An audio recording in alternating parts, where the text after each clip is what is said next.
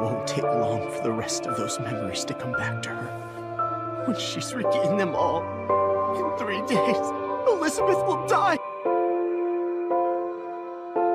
Eternal life and eternal reincarnation. You'll never age again, and even if you die, you'll only be resurrected.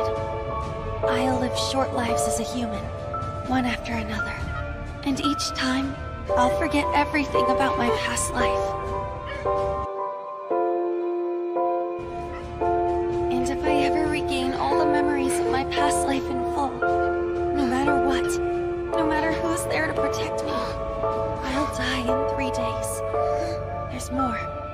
I'm going to meet you every time I'm reincarnated and fall in love with you.